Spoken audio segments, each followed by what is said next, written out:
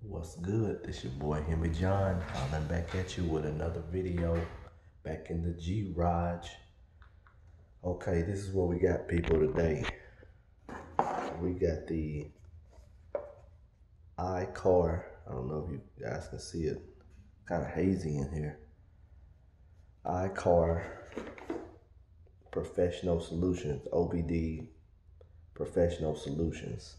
What this is, this is actually the uh, Bluetooth kit that comes with the, uh, well, it doesn't come with it. You can order it with the um, Thornton Performance chip. So I went ahead and ordered this before ordering the Stage 3. Um, and what it, it comes with a little, you know, quick starter guide for your Android phone or whatever. And it also comes with the connectors too. But let's open this up and see what we got inside.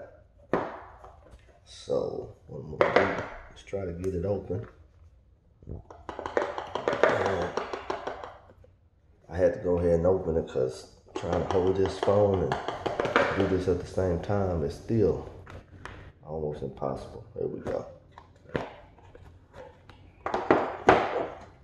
So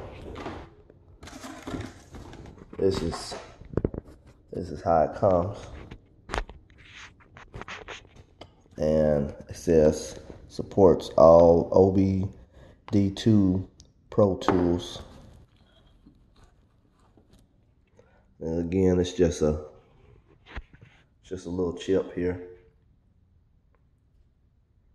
The plugs right in like the performance chip.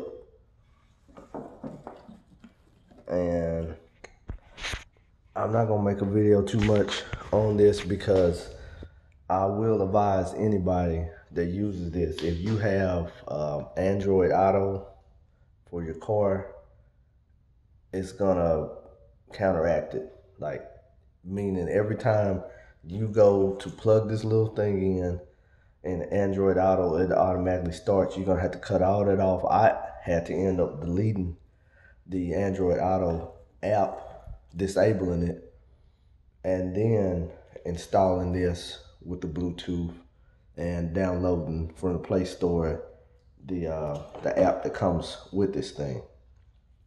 And so after doing all that, then it finally worked.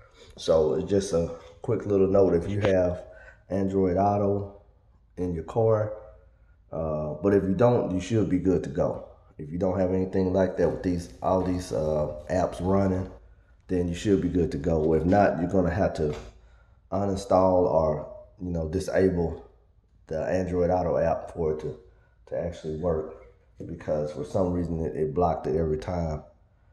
So anyway, um, it's actually a video on this, and you can go to the. It's on YouTube, but it it it works with the the chip, and basically what it does, you can sign up for a service. I signed up for a service. It's like twenty dollars for a whole year, and it just it monitors the uh, the systems in your car. You can check out uh, your engine's performance, the horsepower, stuff like that. It's it's actually it's pretty neat. Um, would I recommend getting this if you are a car person and you already know about cars? No, because a simple scanner tool can tell you just as much. But uh, the live data, it is pretty neat to see the horsepower, the torque, and all that, which a simple scanner tool does not do, like the one I have. You know, you have to get up there in the hundreds or maybe even thousands if you know you're gonna get all the data that this little thing gives you. Uh, so it is better for the price for that.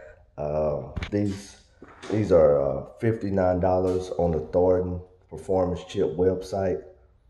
At this point, uh, I'm gonna say that the chip, you're gonna have to do the programming and you know get the app and do different things for the chip to really work. Otherwise, like I stated in the other video, you know, uh, pretty much useless. So whether you got the stage two or the stage three, if you don't do the programming with it, then you're pretty much wasting your money. So there's my take on that. But hope everybody's enjoying the weekend. Again, hope you're being safe. Take care of yourselves and your family. Holla at your boy.